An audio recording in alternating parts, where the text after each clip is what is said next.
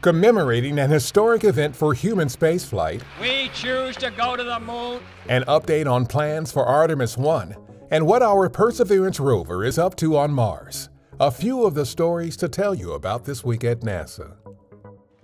On September 12th, NASA and Rice University commemorated the 60th anniversary of John F. Kennedy's historic speech at Rice in 1962.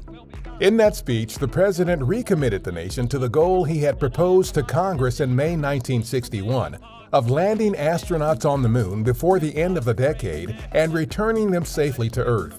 As NASA Administrator Bill Nelson pointed out during the keynote address at the event, the president's speech helped advance our leadership in human spaceflight back then, and it continues to inspire us today as we work to send humans back to the moon and eventually to Mars as part of our Artemis program.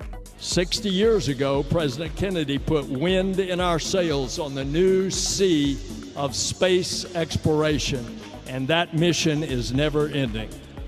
It's a mission about science and the advancement of the human spirit to expand what is possible. A cryogenic demonstration test for our uncrewed Artemis 1 flight test is now targeted for no earlier than Wednesday, September 21st. Meanwhile, the agency has requested a September 27th launch opportunity for the Space Launch System or SLS rocket and Orion spacecraft, with a potential backup opportunity of October 2nd under review.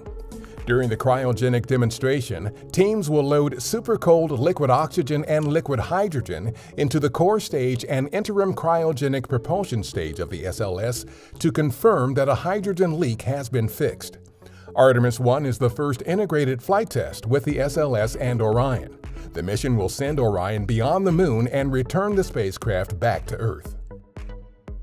NASA's Perseverance rover is collecting samples and analyzing the composition of rocks at an ancient river delta located in the red planet's Jezero crater, an area long considered by scientists to be a top prospect for finding signs of possible ancient microscopic life.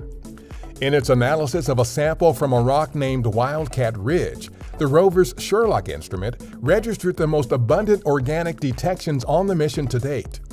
Further conclusions about what is contained in this sample will have to wait until its return to Earth for in-depth study as part of the Mars Sample Return Campaign, an international collaboration led by NASA and the European Space Agency. Dr. Thomas Zurbuchen, the Associate Administrator for our Science Mission Directorate, is planning to leave the agency at the end of 2022. His six years at NASA have included some of the agency's most inspirational moments, from sending the first spacecraft to touch the Sun, to launching and sharing the first images from the James Webb Space Telescope, to landing the Perseverance rover on Mars along with the Ingenuity helicopter that went on to make the first powered controlled flight on another planet. The agency is conducting a nationwide search and open competition for a new associate administrator. The team at our Armstrong Flight Research Center recently completed a flight series called Carpet Diem, which tested state-of-the-art ground recording stations designed to hear and record the unique sounds that will be generated during future supersonic flights by NASA's X-59 aircraft. The X-59's goal is to reduce the intensity of sonic booms, which are heard when an aircraft flies faster than the speed of sound, to a quiet sonic thump. When the X-59 flies, NASA will record the sonic thumps as part of the effort to validate its quiet supersonic design. That's what's up this week at NASA. For more on these and other stories, follow us on the web at nasa.gov/twan.